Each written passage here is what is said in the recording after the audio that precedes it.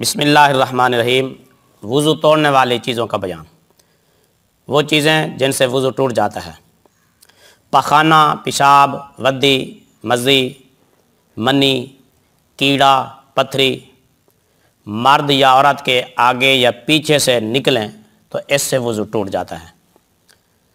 अगर मर्द का ख़तना नहीं हुआ और सुराख से इन चीज़ों में से कोई चीज़ निकली, मगर ख़तने की खाल के अंदर ही है, बाहर नहीं निकली तो ऐसी सूरत में भी वज़ू टूट जाएगा।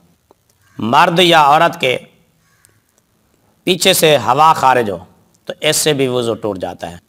औरत के दोनों मकाम फटकर एक हो गए और हवा खारिज हुई तो ऐसी सूरत में भी एहतियातन औरत पर वज़ू लाजिम होगा, यानी यूँ समझा जाएगा कि वज़ू टूट गया। अगरचे ये गुमान हो कि वो हवा आगे से खारिज हुई है।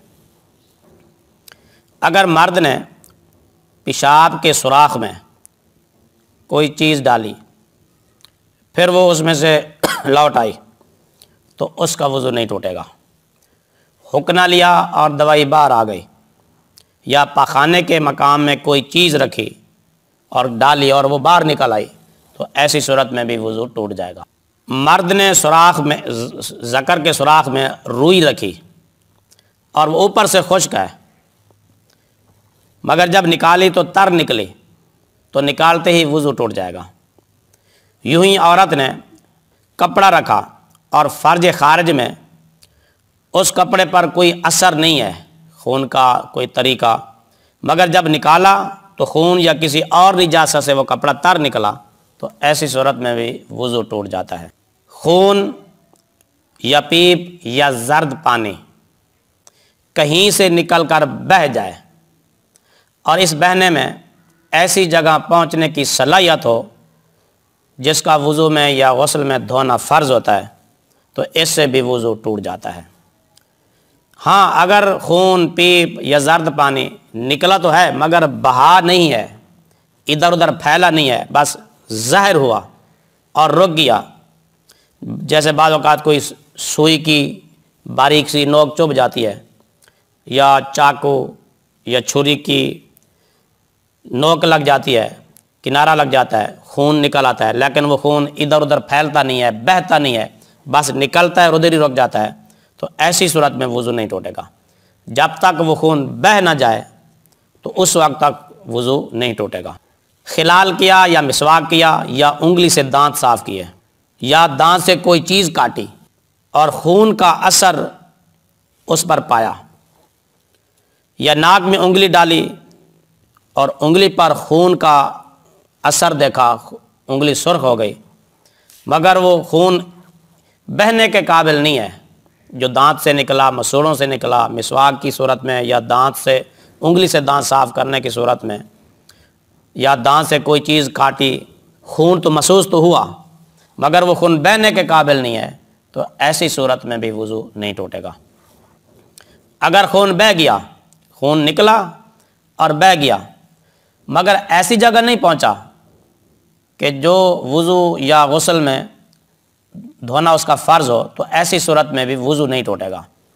मसलन, आँख के अंदर कोई दाना था और वो फट गया, टूट गया, आँख के अंदर ही वो फैल गया, बाहर उसका पानी नहीं निकला, या कान के अंदर दाना था और वो अंदर ही टूट गया और उसका पानी कान के सुराख से बाहर नहीं निकला, या कान के अंदर का पर्दा फट गया और खून निकला और खून कान से बाहर नहीं आया, अंदर ही रुका हुआ है। अगरचे वो इतना हो के अंदर बह रहा है, ज़्यादा है मगर बाहर नहीं निकला चूँकि कान के अंदर का हिस्सा धोना ना वज़ू में फ़र्ज़ है, ना गौसल में फ़र्ज़ है। तो लिहाजा इन सूरतों में वज़ू नहीं टूटेगा। खून, जर्द पानी, पीप वगैरह निकल कर बह जाएँ और ऐसी जगह पहुँच जाएँ जिनको वज़ू और गसल में धोने का हुक्म हो। तो तब उनसे वज़ू टूटेगा, वरना नहीं टूटेगा। ज़ख़म ज़ख़म है, गहरा ज़ख़म है, और वो अंदर से तर है, और उसमें रतूबत चमक रही है, मगर बहती नहीं है तो ऐसी सूरत में भी वज़ू नहीं टूटता। ज़ख़म से खून निकलता रहा, और वो आदमी उसको बार बार पूछता रहा, साफ़ करता रहा ऊपर से, कि बहने की नौबत ही नहीं आई। बाद ऐसा होता है कि कोई चीज़ लग जाती है, खून निकलता है जो ही निकलता है, ऊपर से साफ़ करना शुरू कर देते हैं पूछना शुरू कर देते हैं। या उसके ऊपर मट्टी या राख वगैरह डालकर उसको सुखाते रहते हैं। तो फिर देखा जाएगा कि अगर उसको साफ़ न किया जाता और उसके ऊपर मट्टी या राख वगैरह ना डाली जाती तो वो खून बहता या नहीं। अगर वो ना साफ़ किया जाता, मट्टी वगैरह ना डाली जाती और खून बह जाता, फिर तो उससे वज़ू टूट जाएगा, वरना नहीं टूटेगा। फोड़े को दबाने से, फुंसी को दबाने से खून, पीप वगैरह इतना निकला कि वो बह गया तो ऐसी सूरत में भी वज़ू टूट जाएगा। आँख, कान, नाक, पिस्तान वगैरह में कोई दाना है, नासूर है या कोई बीमारी है कि उनकी वजह से आँसू या पानी निकल कर बहता है तो इससे भी वज़ू टूट जाता है। ज़ख़म या नाक या कान से कीड़ा निकला या ज़ख़म से कोई गोश्त का टुकड़ा अलग हो गया, जिस पर कोई निजात वगैरह का कोई असर नहीं है तो ऐसी सूरत में भी वज़ू नहीं टूटेगा।